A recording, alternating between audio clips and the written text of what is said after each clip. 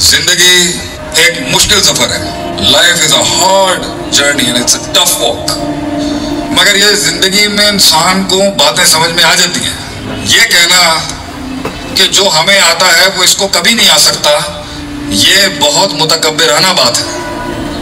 ये दावा कि जो हमें आता है, वो इसको नहीं आता। इससे बड़ा तकबर नहीं है जो इंसान कर सकता है। बतरुल हक वगम तो नास।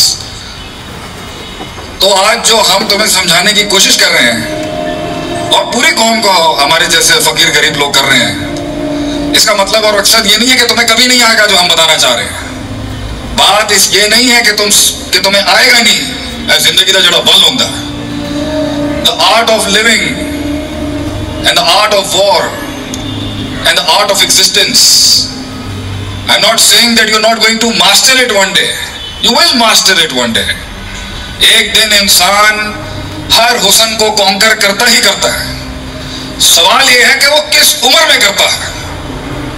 अगर सब बर्बादियाँ करके, सब रिसोर्सेज जाया करके, सारी उम्र लंगा के, और सारे नाते तोड़ के, और सारी बर्बादियाँ करके अगर तूने कहना है मन्ना व सदकना तो पुत्र है, कोई रेक्टिफिकेशन नहीं है ये कोई रिडेम्पशन नहीं है।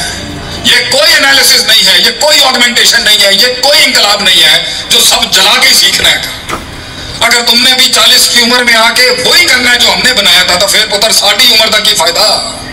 हमारे सोलह सालों की जिद्दोजहद का क्या फ़ायदा? अगर हम तो जो तुम्हारे अंदर वो चार सालों के अंदर ना उतार सके। तो अगर तूने भी वही कॉन्कर करना है जो हमने पंद्रह साल में किया, और वही मकाम हासिल करना है जो रब ने हमें दिए तो फिर जनरेशन और सिविलाइजेशन की जंग में दूसरों के मुकाबले में भी तुमने 16 साल बाद ही अगर वहाँ है और यही कहना है 16 साल बाद अपने अब्बे को जाके कि मैं गलत सी, तुझे ठीक सी। अगर अपने उस्ताद को आके यही कहना है 16 साल की सारी बर्बादियाँ करके तुझे ठीक सी थी, मैं गलत सी। अपनी वाइफ नु जाके तुझे 20 साल बाद अगर यही कहना है कि तू ठीक सी तो मैं गलत सी। और अपने बच्चों को अगर 20 सालों के बाद 30 सालों के बाद जाके कहना है कि तू ठीक सी पुत्र, मैं गलत सी तो ये कोई ज़िंदगी है। ये कोई ज़िंदगी है कि जिसमें एंड में जाके कहना है कि लादरी लादरी मैंने गली नहीं समझ आई कौमों की बर्बादियों का सबसे बड़ा उसूल यह है कि उन्होंने उस महल में, उस जगह में, उस वजह में, उस कता में, उस जमान में, उस मकान में वो चीज़ नहीं की जो करने का हक था। और वो अपनी ही मारता रहा अपने आप से। क्योंकि इस उम्र का सबसे बड़ा फितना पता है क्या है? ये मत समझना कि आज जो हम यहाँ बैठे हुए तुम्हारे पे जो राज करने के लिए बैठे हुए कि हम तुम्हारी पोजीशन को नहीं समझते। उम्र का सबसे बड़ा फितना है मी माई सेल्फ एंड आई कि जड़ी गल मैनू समझ आती पई है। What I think and what I perceive and what I conceive right now जो मैं समझ सकता हूँ, वो किसी माँ के लाल को समझ नहीं आ सकती। मेरे प्यो को भी नहीं समझ आ सकती, मेरे शरीके को नहीं समझ आ सकती, जो मेरे साथ हो रहा है, वो किसी के साथ नहीं हो सकता। ये है सबसे बड़ा फितना।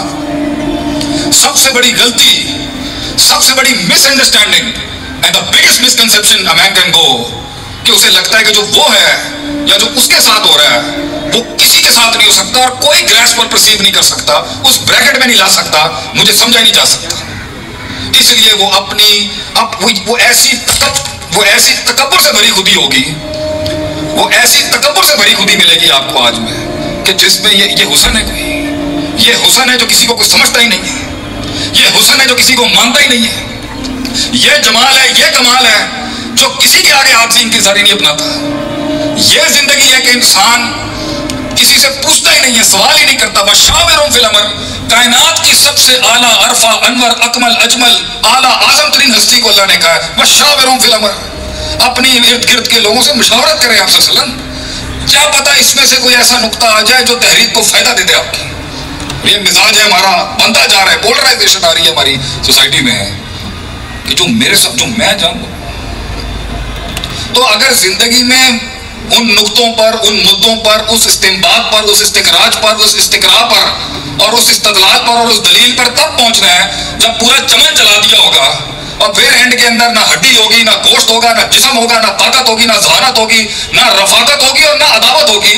तभी मैदान में कदम रख के कहना कि जी, अब हूँ मैं प्रिंसिपल के मुताबिक चलूँगा। मैं कॉस्मोलॉजिकल बैलेंस का ख्याल रखूँगा।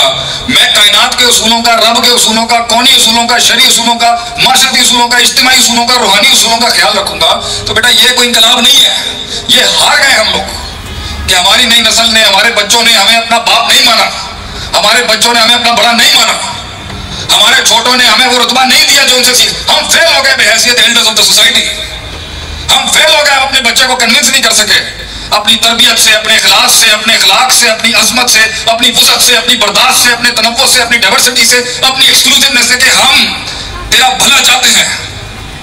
हम इज्तिमाही लिहाज से अपनी कौम को कहीं देखना चाहते हैं और तुझे इस भट्टी से गुजारने के लिए मैं सबर भी करके बैठा हूँ, मिजाज भी मार के बैठा हुआ हूँ चौधाहट भी दफन करके बैठा हुआ हूँ, सरदारी भी कॉम्प्रोमाइज करके बैठा हूँ कि तेन गल समझ आ जाए कि जो मैं नहीं कर सका, वो तू कर ले अपनी ज़िंदगी। में जो मैं नहीं बना सका, वो तू बना ले अपनी ज़िंदगी के अंदर। जो हम नहीं बना सके अपनी लाइफ में, जो हमारे वक्तों में लिमिटेशन थी वो तू अचीव कर ले बेटा।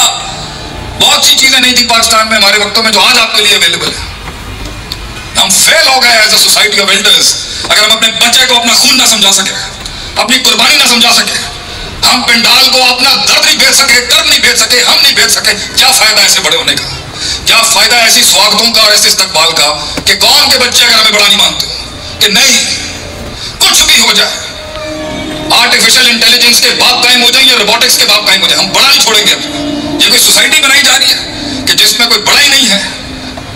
साहबा ने दुनिया में राज किया है। पोर्चुगल से लेके Constantinople and from Constantinople to Indonesia इतनी बड़ी सल्तनत पे राज किया सिर्फ़ एक उसूल पर मन उस्ताद कौन है आप? किससे पढ़ा आपने ये बात कहाँ से पढ़ी है आपने उनके यहाँ बाईस फखर और इफ्तार होता था कि मेरे 500 उस्ताद है, मेरे 300 उस्ताद है, मैंने इतनी हिजरतें की हैं, मैंने इतना सफ़र किया, सिर्फ़ एक नुकता सीखने के लिए। और हमारे यहाँ शेख गूगल मिनट पाओगे सारा कुछ पाए बगैर उस्ताद के इल्म फसाद है। वो इल्म ही नहीं जो बगैर उस्ताद का है, क्योंकि इल्म इबारत का नाम नहीं है। इबारत का रट्टा इल्म नहीं है। इल्म एक तारीख है।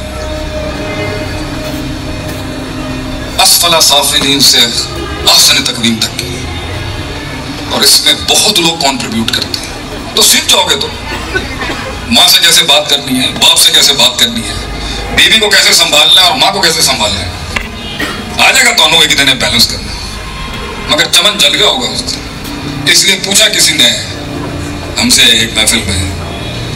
जैसे का पता है महदुल इल्म what is the definition of knowledge according to you कहा फज शय मौदे सही चीज़ को सही महल पे रखना और गलत चीज़ को सही महल पे रखना। Putting the right thing in the right place and the wrong thing in the right place ये है इल्म अगर ये नहीं आता इसको, अगर एक फर्द को, एक जमात को, एक तहरीक को, एक सूबे को, एक ज़िले को, एक तहसील को, एक हुकूमत को, एक सिस्टम को अगर ये नहीं आता, कहाँ, कितनी किस मिकदार में, किस वजह कदा में रखी जाती है? फेल है वो सिस्टम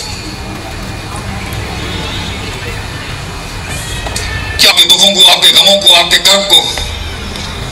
औरतें यहाँ बिठा दी, मर्द यहाँ कर दी ये डिस्क्रिमिनेशन वो बेचारी धूप में बैठ रही है, मर्द सारे साय में बैठे। चलिए आप नजमो सब खराब ना करें।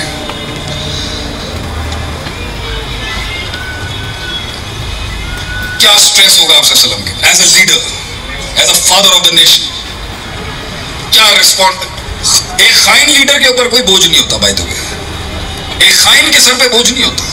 मगर एक सादे अमीन के सर पे बोझ नहीं होता, पहाड़ होते हैं। जो कुछ सुना गया, अल्लाह पाक इस पर अमल करने वाला और आगे लोगों तक पहुँचाने वाला बनाए। मज़ीद इसलाही बयानात के लिए हमारा YouTube channel Sheikh Atif reminder को सब्सक्राइब करें और वीडियो को लाइक करें। जजाकल्ला खैर।